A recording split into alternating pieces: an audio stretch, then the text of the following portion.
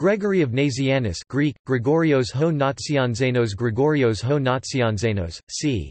329 the 25th of January 390 also known as Gregory the theologian or Gregory Nazianzen was a 4th century archbishop of Constantinople and theologian he is widely considered the most accomplished rhetorical stylist of the patristic age as a classically trained orator and philosopher he infused Hellenism into the early church, establishing the paradigm of Byzantine theologians and church officials. Gregory made a significant impact on the shape of Trinitarian theology among both Greek and Latin-speaking theologians, and he is remembered as the Trinitarian theologian. Much of his theological work continues to influence modern theologians, especially in regard to the relationship among the three persons of the Trinity. Along with the brothers Basil the Great and Gregory of Nyssa, he is known as one of the Cappadocian Fathers. Gregory is a saint in both Eastern and Western Christianity. In the Roman Catholic Church he is numbered among the doctors of the Church, in the Eastern Orthodox Church and the Eastern Catholic Churches he is revered as one of the three holy hierarchs, along with Basil the Great and John Chrysostom. He is also one of only three men in the life of the Orthodox Church who have been officially designated theologian by epithet, the other two being Saint John the Theologian the Evangelist, and Saint Simeon the New Theologian. Biography.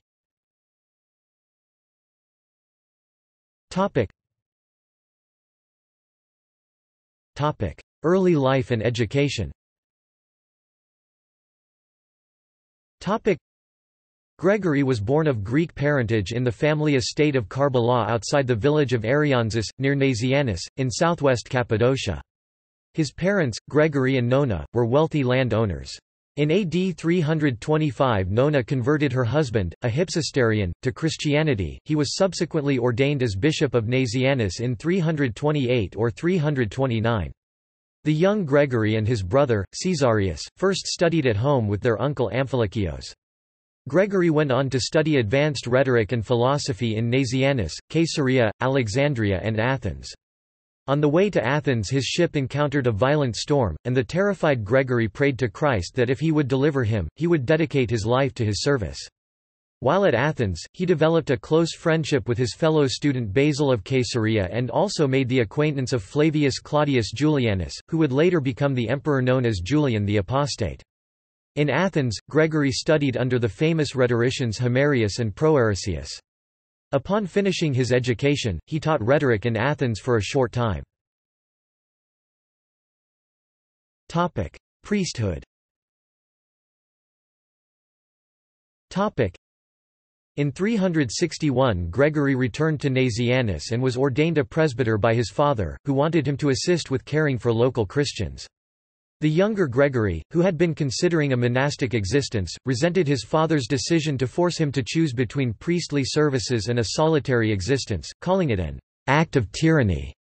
Leaving home after a few days, he met his friend Basil at Anessoi, where the two lived as ascetics. However, Basil urged him to return home to assist his father, which he did for the next year. Arriving at Nazianzus, Gregory found the local Christian community split by theological differences and his father accused of heresy by local monks.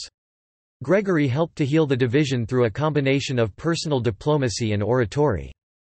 By this time Emperor Julian had publicly declared himself in opposition to Christianity. In response to the emperor's rejection of the Christian faith, Gregory composed his invectives against Julian between 362 and 363.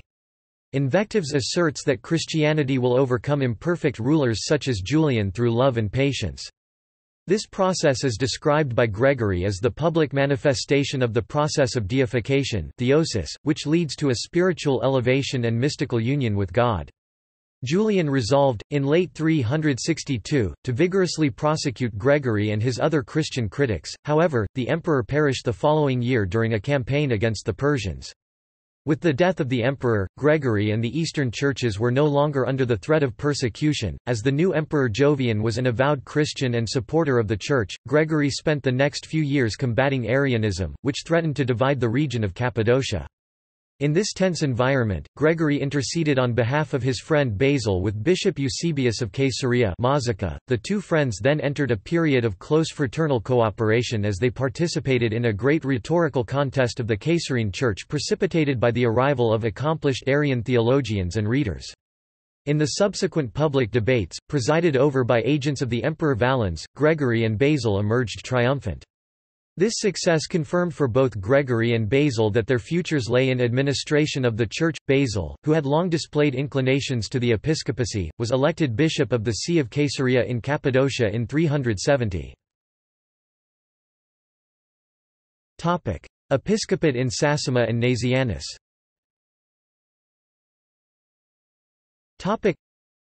Gregory was ordained bishop of Sassima in 372 by Basil. Basil created this see in order to strengthen his position in his dispute with Anthimus, bishop of Tyana. The ambitions of Gregory's father to have his son rise in the church hierarchy and the insistence of his friend Basil convinced Gregory to accept this position despite his reservations. Gregory would later refer to his episcopal ordination as forced upon him by his strong-willed father and Basil. Describing his new bishopric, Gregory lamented how it was nothing more than an utterly dreadful, poky little hole, a paltry horse stop on the main road, devoid of water, vegetation, or the company of gentlemen, this was my church of Sassima. He made little effort to administer his new diocese, complaining to Basil that he preferred instead to pursue a contemplative life. By late 372, Gregory returned to Nazianzus to assist his dying father with the administration of his diocese. This strained his relationship with Basil, who insisted that Gregory resume his post at Sassima. Gregory retorted that he had no intention to continue to play the role of pawn to advance Basil's interests. He instead focused his attention on his new duties as coadjutor of Nazianzus.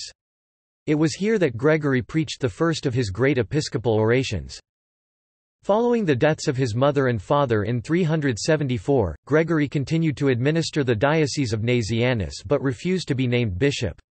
Donating most of his inheritance to the needy, he lived an austere existence. At the end of 375 he withdrew to a monastery at Seleucia, living there for three years. Near the end of this period his friend Basil died. Although Gregory's health did not permit him to attend the funeral, he wrote a heartfelt letter of condolence to Basil's brother, Gregory of Nyssa and composed twelve memorial poems dedicated to the memory of his departed friend. Gregory at Constantinople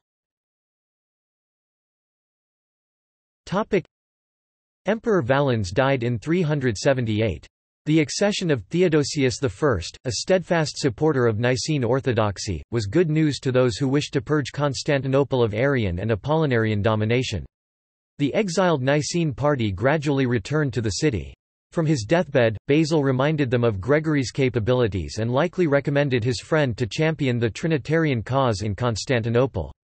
In 379, the Antioch Synod and its archbishop, Meletios, asked Gregory to go to Constantinople to lead a theological campaign to win over that city to Nicene orthodoxy.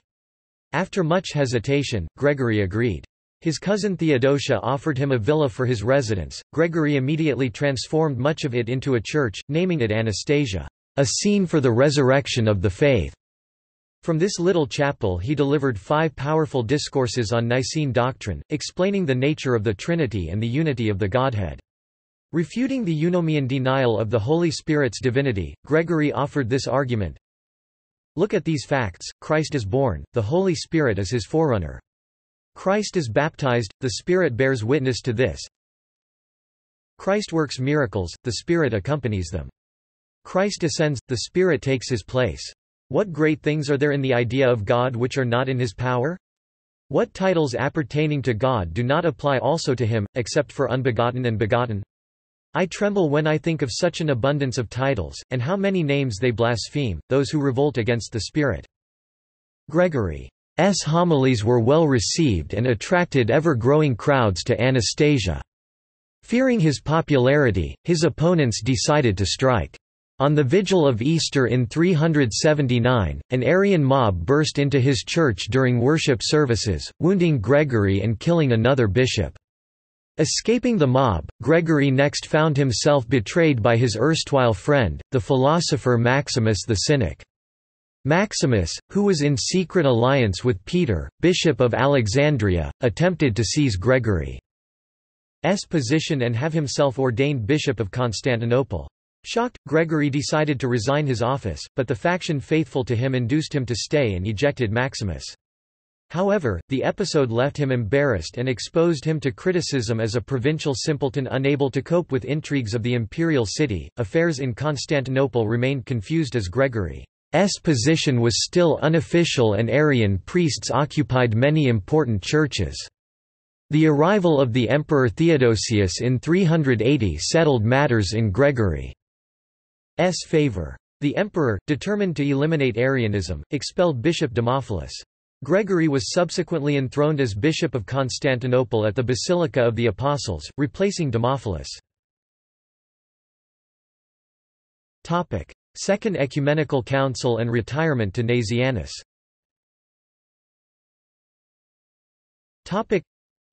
Theodosius wanted to further unify the entire empire behind the orthodox position and decided to convene a church council to resolve matters of faith and discipline. Gregory was of similar mind in wishing to unify Christianity. In the spring of 381 they convened the Second Ecumenical Council in Constantinople, which was attended by 150 Eastern bishops. After the death of the presiding bishop, Meletius of Antioch, Gregory was selected to lead the council. Hoping to reconcile the West with the East, he offered to recognize Paulinus as Patriarch of Antioch.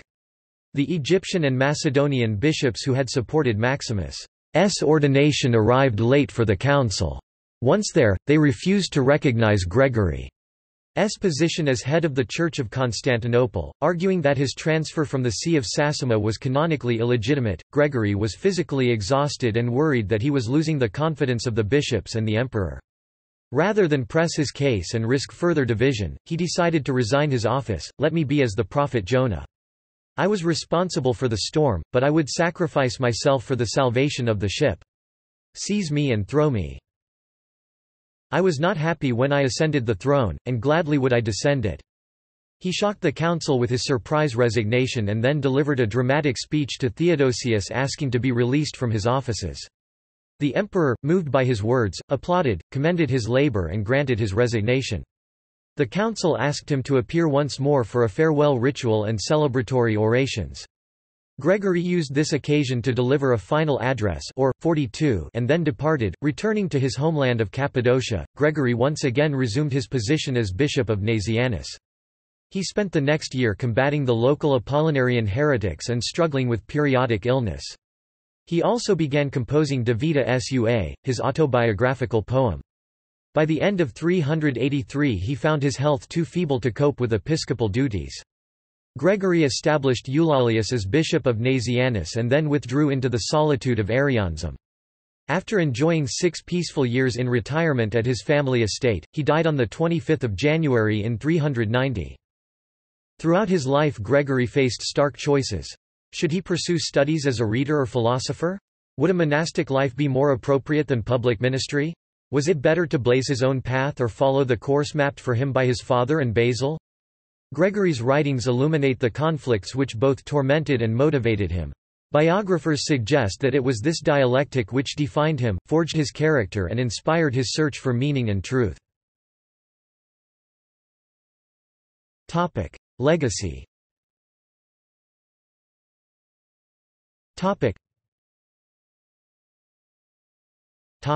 Theological and other works Topic. Gregory's most significant theological contributions arose from his defense of the doctrine of the Trinity. He is especially noted for his contributions to the field of pneumatology that is, theology concerning the nature of the Holy Spirit. In this regard, Gregory is the first to use the idea of procession to describe the relationship between the Spirit and the Godhead. The Holy Spirit is truly Spirit, coming forth from the Father indeed, but not after the manner of the Son, for it is not by generation but by procession. Since I must coin a word for the sake of clearness, although Gregory does not fully develop the concept, the idea of procession would shape most later thought about the Holy Spirit. He emphasized that Jesus did not cease to be God when he became a man, nor did he lose any of his divine attributes when he took on human nature. Furthermore, Gregory asserted that Christ was fully human, including a full human soul. He also proclaimed the eternality of the Holy Spirit, saying that the Holy Spirit's actions were somewhat hidden in the Old Testament but much clearer since the ascension of Jesus into heaven and the descent of the Holy Spirit at the Feast of Pentecost. In contrast to the Neo-Arian belief that the Son is anomoios, or unlike the Father, and with the semi-Arian assertion that the Son is homoiousios, or like the Father, Gregory and his fellow Cappadocians maintained the Nicene doctrine of homoousia, or consubstantiality of the Son with the Father. The Cappadocian Fathers asserted that God S nature is unknowable to man, helped to develop the framework of hypostasis, or three persons united in a single Godhead, illustrated how Jesus is the icon of the Father, and explained the concept of theosis, the belief that all Christians can be assimilated with God in imitation of the incarnate Son as the divine model. Some of Gregory. Theological writings suggest that, like his friend Gregory of Nyssa, he may have supported some form of the doctrine of apokatastasis, the belief that God will bring all of creation into harmony with the kingdom of heaven. This led some late 19th-century Christian Universalists, notably J.W. Hanson and Philip Schaff, to describe Gregory's theology as universalist. This view of Gregory is also held by some modern theologians, such as John Sachs who said that Gregory had leanings toward apokatastasis, but in a cautious, undogmatic way. However, it is not clear or universally accepted that Gregory held to the doctrine of apokatastasis. Apart from the several theological discourses, Gregory was also one of the most important early Christian men of letters, a very accomplished orator, perhaps one of the greatest of his time. Gregory was also a very prolific poet who wrote theological, moral and biographical poems. Topic: Influence. Topic: Gregory's great-nephew Nicobulos served as his literary executor, preserving and editing many of his writings. A cousin, Eulalios, published several of Gregory's more noteworthy works in 391. By 400, Rufinus began translating his orations into Latin. As Gregory's works circulated throughout the empire they influenced theological thought. His orations were cited as authoritative by the First Council of Ephesus in 431. By 451 he was designated theologus, or theologian by the Council of Chalcedon, a title held by no others save John the Apostle and Simeon the New Theologian 949-1022 AD. He is widely quoted by Eastern Orthodox theologians and highly regarded as a defender of the Christian faith. His contributions to Trinitarian theology are also influential and often cited in the Western churches. Paul Tillich credits Gregory of Nazianzus for having created the definitive formulae for the doctrine of the Trinity. Additionally, the Liturgy of Saint Gregory the theologian in use by the Coptic Church is named after him. Relics Following his death, Saint Gregory was buried at Nazianzus. His relics, consisting of portions of his body and clothing, were transferred to Constantinople in 950, into the Church of the Holy Apostles. Part of the relics were taken from Constantinople by Crusaders during the Fourth Crusade, in 1204, and ended up in Rome. On 27 November 2004, those relics, along with those of John Chrysostom, were returned to Istanbul Constantinople by Pope John Paul II, with the Vatican retaining a small portion of both. The relics are now enshrined in the Patriarchal Cathedral of St. George in the Phanar. Death During the six years of life which remained to him after his final retirement to his birthplace, Gregory composed the greater part of the copious poetical works which has passed down from generation. These include a valuable autobiographical poem of nearly 2,000 lines, about 100 other shorter poems relating to his past career, and a large number of epitaphs, epigrams, and epistles to well-known people during that era. The poems that he wrote that dealt with his personal affairs refer to the continuous illness and severe sufferings physical and spiritual which assailed him during his last years. In the tiny plot of ground at Arianzus, all that remained to him of his rich inheritance was by a fountain near which there was a shady walk. At this point, Gregory retired to spend his days as a hermit. It was at this point he decided to write theological discourses and poetry of both a religious and an autobiographical nature. He would sometimes receive occasional visits from intimate friends, as well as sometimes from strangers who were attracted to his retreat by his large reputation for sanctity and learning. He died about 25 January 390, although the exact date of his death is unknown. Feast day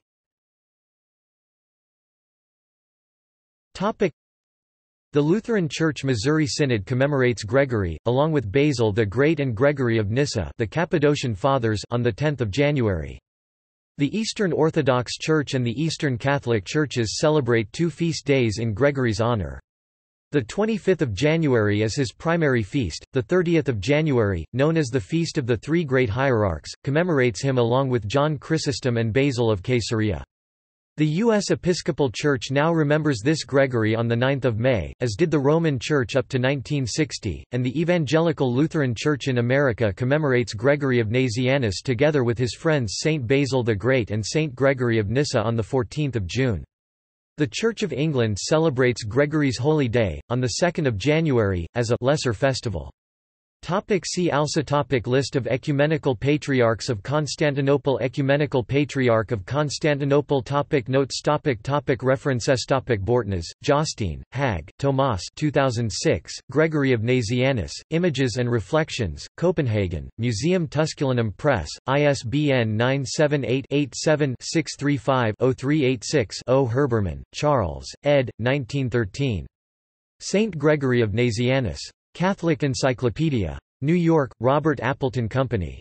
McGuckin, John A. St. Gregory of Nazianzus, An Intellectual Biography. Crestwood, N.Y., 2001, St. Vladimir's Seminar Press. ISBN 0-88141-222-8 Migne, J.P. General Editor. Cursus Completus Patrologia Greci. Volumes 35–38. Paris, 1857–66. The Orthodox Church of America website article on Saint Gregory the Theologian. Retrieved 2 May 2007. Ruether, Rosemary Radford. Gregory of Nazianzus. Oxford, 1969, Oxford University Press. Turner, H. E. W. and Francis Young, Processions in the Westminster Dictionary of Christian Theology, ed. A. Richardson and J. Bowden. Philadelphia, 1983, Westminster Press, 1983. Topic. Further reading Topic. Topic. External links Topic. Works of Gregory Nazianzus translated into English NAZIANZOS, Center for the Study of Gregory of Nazianzus at the Université Catholique de Louvain Colonnade statue in St. Peter's Square Works by or about Gregory of Nazianzus at Internet Archive. Works by Gregory of Nazianzus at LibriVox public domain audiobooks